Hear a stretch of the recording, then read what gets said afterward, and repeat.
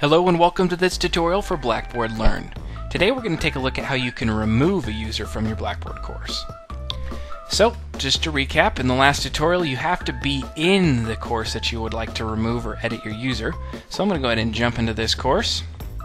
Scroll down on the lower left hand side to Users and Groups. Click on Users and this will be into your users management screen. So this again is going to show all the users that are associated with your course. Now, if you're an instructor and you added another instructor into your course, you actually cannot remove someone at the same role. It's not going to allow you to do this. Um, it's going to let you know that only system administrators can remove other instructors from the course. So if that's a situation that you run into, you're definitely going to want to call the ITC at 549 2024. But if you need to remove a student user from a course, you can do so easily. Now, remember, if you remove a student user from the course, it's going to remove all the information for that student for that particular course. It doesn't remove them from the entire system, just from your course.